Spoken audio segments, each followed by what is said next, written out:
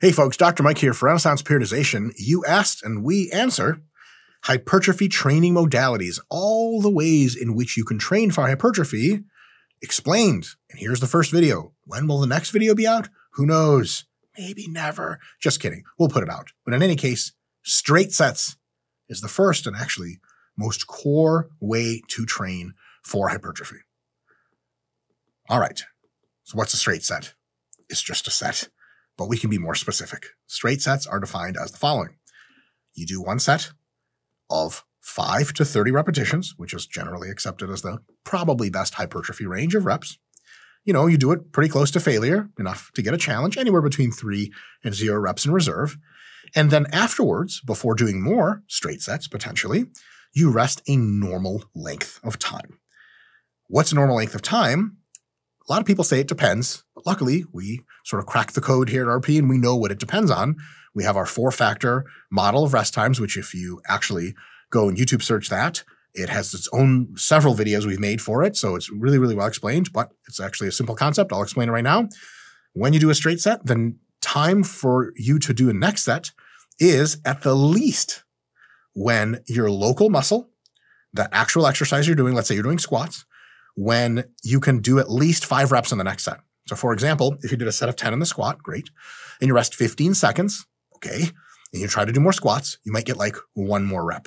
Okay, one rep is not hypertrophic enough for it to count as a set's worth of hypertrophic stimulus. So, you know, anything beyond five reps is probably pretty decent. So if you can't do five reps yet on your next straight set, rest more time. Secondly, you want to make sure that your synergists are not preventing you from doing as many reps as possible to stimulate your target muscle. So for example, if your quads are recovered from the squat to do another five reps at least, but your lower back is still really tight and still burning and still really tired, and it will give out before you can do five reps, or it will give out before your quads do, then you have to rest longer. So the synergists will have to be ready. Same idea for the bench press. If your chest is ready to go, but your triceps still feel a little funny, rest longer.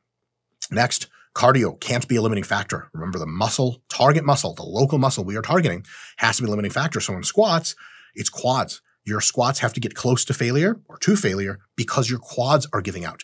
If it's your cardio giving out, no bueno. So if you're still breathing ultra heavy, rest longer until you're breathing much more normally. And then you know that on the next set, there's a high chance that your quads will stop you again instead of you just gas out and get out of breath. And lastly, these are not in order. They just all have to be checkmarked at some point. Psychological drive right? You have to feel strong again and capable. You guys know what I'm talking about. When you've trained hard, you do a set of squats, you rack the bar. If 15 seconds, someone's like, you ready for another set? It doesn't even matter if your local muscle's fine, synergy's fine, cardio's fine. You feel defeated. You feel weak. The brain with various neurotransmitter concentrations, everything like that, can't just repeat on hard effort over and over and over, especially on really hardcore exercises like squats. So sometimes it takes a few minutes for you to sort of get your get your mojo back. Like, all right, all right, all right, put that heavy bar on my back. I'm ready. Until you're ready to do that, don't do another straight set. So how long should you rest between straight sets? Depends. If you're doing straight sets for calves, sometimes the answer is like, I don't know, 15 seconds. You can check all these boxes. On the other hand, if you're resting, you know, for squats or deadlifts for high reps, gee, it could be five minutes or something like that. Can you rest longer than all these check marks? Sure. But there's an argument that if you rest much longer, you're kind of wasting your time. Probably no worse results, but certainly a certain amount of results in more time is probably less efficient. So normal rest times, and when we say normal rest, that's what we mean. And straight sets, if you say, okay, I did four straight sets of squats, that actually in the definition of straight sets assume you're using the same load every single time. Not necessarily the same reps, but same load.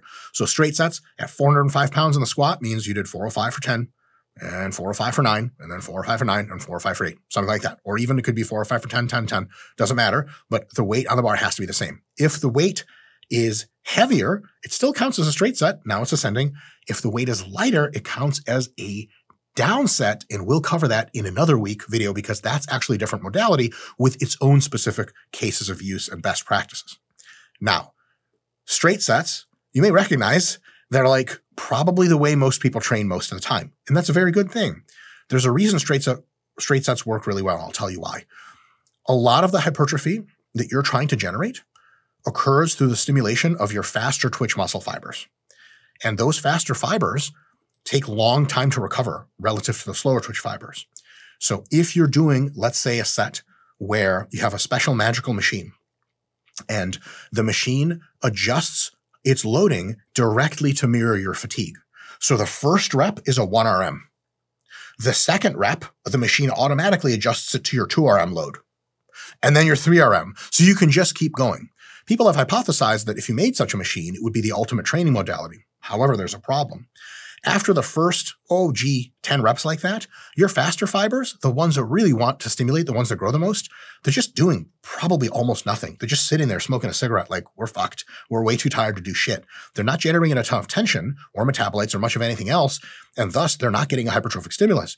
Now, what are the fibers that keep you going? Because now you're on rep 15, rep 35. What is powering that is the slower twitch fibers. Yeah, sure, you can do more reps like that. They don't grow a ton. So what's the solution to that problem? Well, rest. You do a set of relatively heavy load, anywhere between 5 and 30 reps, and then you rest a normal amount of time until basically if you check the four boxes, that implies that your faster fibers are probably pretty well rested so they can again contribute to the movement very profoundly. And if they contribute profoundly, they generate lots of tension and then they get a stimulus. So yeah, ideally we would have some kind of method where we didn't have to take any breaks at all. We could go into the gym to train quads. Two minutes later, after the hardest single quad set of your life with descending loads, you would be done. Sure, that'd be a good workout, but it wouldn't be the best because rest times refresh the faster fibers because they're very fatigable and allow you to hit them again and again and again until you stimulate them enough to where they're at their maximum growth stimulus. Back away, go home, eat lots of food, and get lots of rest, come back, repeat. So, straight sets because of this idea that faster fibers grow more and straight sets are probably the best way to target your faster fibers, they are the core of what makes you jacked. Yeah, it's cool to use all the other modalities, and we'll get into those videos uh, in the next few months. But remember that straight sets are your best friend. Okay, it's like that lovable dog that golden retriever. Usually, you're like, "Hey, buddy," and he's always looking at you, and then you know, like, you die, and he sits by your grave for a long time. Very sad. You guys ever watch that movie, Marley and Me? I haven't, because I, I don't need to see that shit. I cry plenty in my daily life. I don't need any more tears. In any case, what are the upsides of straight sets? Okay, just not to beat uh, a dead horse, which if you had a dog like Marley, he'd probably help you beat the dead horse. They are the meat and potatoes of training. I mean, they get most of the work done, stimulate the faster fibers.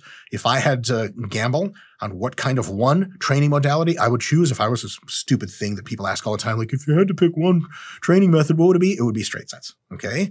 And straight sets have another benefit. Drop sets, myo reps, which we'll get to later, they're so tough, proximately, psychologically, because they're so painful, that a lot of times you can degrade in technique during them. And it's like towards the end of like five myo reps, that's like, I don't know. You started doing leg presses. I'm not so entirely sure what you're doing now. that doesn't tend to happen on straight sets because as you get really tired, you rack the bar and you rest a full long time and you get to go again and you get to start pretty fresh. So it's a really awesome way to focus on technique, which is why one of the best use cases for straight sets is beginners Key beginners, almost every other type of set is inappropriate for beginners. Straight sets are what you should be doing.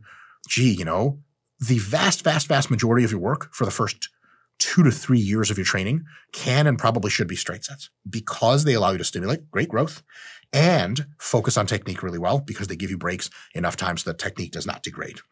Now, straight sets are not appropriate for every situation, or at the very least, they're not the best for every situation. What are their downsides? They can take a long time to do. So if you are in a rush or your work schedule is such that for a few months, you know, until this big project gets done at work, you have like 45 minutes to train three times a week. Gee, you know, you got to train your whole body. If you're resting three minutes between sets, you're like, all right, yeah, I did all my warm ups, I did four sets, and I'm leaving. What? Well, I have to do 20 more sets to cover the rest of my body. So in that case, you might not do straight sets. You might do some of the other modalities that have shorter rest times because straight sets just take a long time. It's like, um, you know, uh, you're just buying a certain amount of investment if you're doing straight sets. Okay. It's like buying a house. You know, you don't recreationally buy a house. You're like, okay, it's going to take a lot of money. It's going to be worth it, but it's going to take a lot. Straight sets are just like that from the perspective of time. Lastly, straight sets have a limit. Remember, we said straight sets are either ascending in load, which is probably not a great idea, uh, because then why aren't you trying hard? You know, I'll actually, I'll answer this question now because I'm sure you guys will ask if I don't answer. Why are ascending sets not a good idea? So if you start your work sets, why is squatting 315 in the first set, then 335, and then 345, and then 355 in the sets bad idea? Because you're the most fresh and most strong, and your faster fibers are most ready to lift on set number one. And they are incrementally more fatigued on sets two, three, four, five, six, etc. So if you're going to go heavy to target those faster fibers, you should do that shit in set one. So descending sets are actually probably more effective than ascending sets in, in the average circumstance, right? So if we said, okay, straight sets are, you can ascend, probably not a good idea, but at the very least the same load, so like 315, 315, 315, what happens if you start at sets of eight or whatever at 315 in the squat, and then after five sets, you still need more quad work, uh, and you want to do a few more sets of squats, but like your last set was five reps, and you're like, yeah, my next set's going to be like four reps. But remember, four is just shy of our best hypertrophic rep range. So then what do we do? Well, shit. We got another training modality that does exactly that, solves that problem, has its own issues, has its own applications. We'll talk about next time when I see you guys, not necessarily next week, but maybe. So hopefully you guys took something from this. And if you have any questions, go to hell. I'm just kidding. Just ask them in the comments below. Like, subscribe, do all the YouTube things, and we'll see you guys next time for, uh, you know, more learning.